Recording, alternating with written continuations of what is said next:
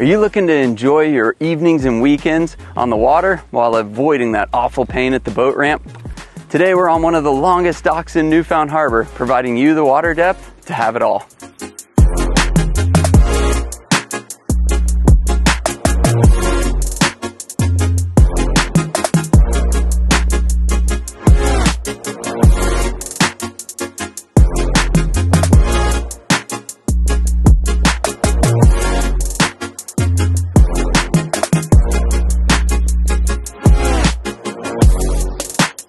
While you're enjoying island time, stop by the new Marker 24 fuel dock to stock up on anything you may need for inshore or offshore, including live bait.